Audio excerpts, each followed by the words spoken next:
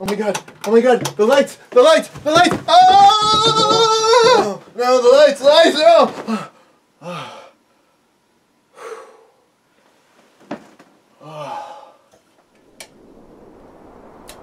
Oh no! It's not a dream! It's all real!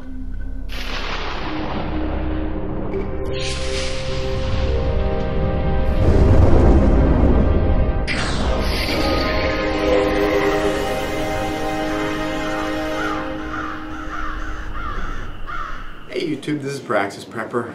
So this morning, major grid down SHTF event. I went down to my uh, basement office to check on a computer animation that I was exporting out of my computer. Uh, I do visual effects as my regular job.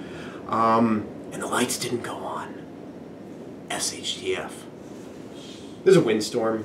I, I presume like a limb or something knocked down a uh, you know power line or something to the street. Maybe it's just the street, maybe it goes beyond that. I didn't actually bother to call the power company. I assume somebody else is doing it. Uh, it's a good thing about having neighbors who have like loud generators. You stick your head out the window and you can hear their generators on. You're kind of like, okay, they're home. I'm sure they know about it. Uh, they probably called it in. Um, yeah, so it's not a big deal for preppers. Um, the uh, the computer process that I was doing was on battery backup. Uh, I'm prepared. So when uh, when the power went out, I just uh, let it continue running on battery backup. When the batteries on that started getting a little low, I patched it into the inverter running into the solar panels, let it finish up that way, and I was able to finish up my work. Um, other plans I had for today is I wanted to give River a haircut. It's kind of overdue for a haircut. Um, use a little buzzer tool for that. Um, didn't have to cancel that either. I just used a little, I've got a little Goal Zero uh, solar, uh, solar battery pack thing and just ran the little buzzer clippers off of that. Uh, and it was no big deal at all.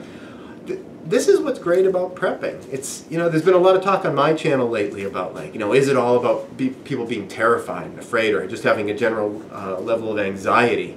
Is that why people are doing all the prepping? But it's just more convenient. You know, uh, there's always bumps in the road.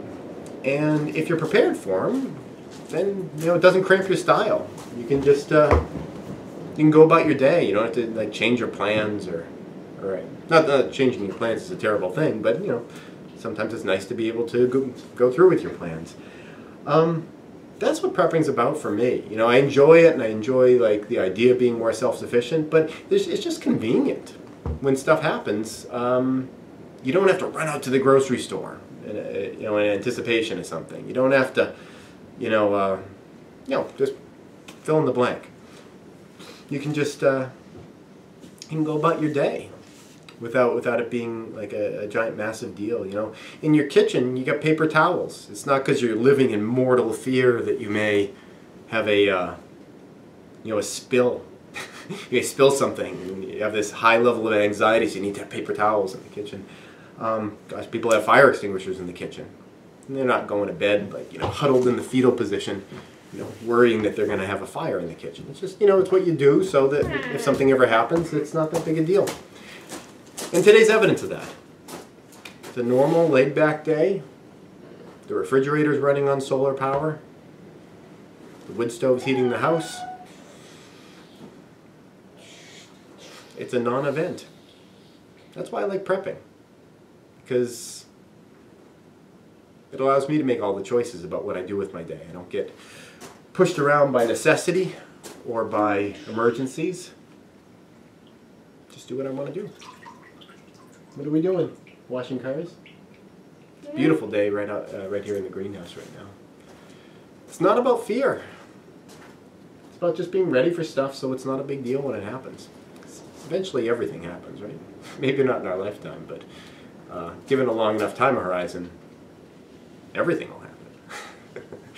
And if it happens in your lifetime, if it happens today, if you're ready for it, then it's no big deal.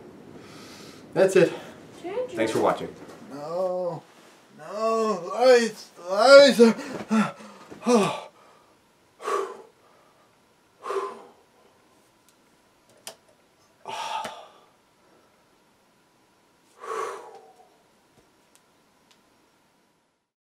Please subscribe and tune in every Friday at 4.30 New York time for a new video.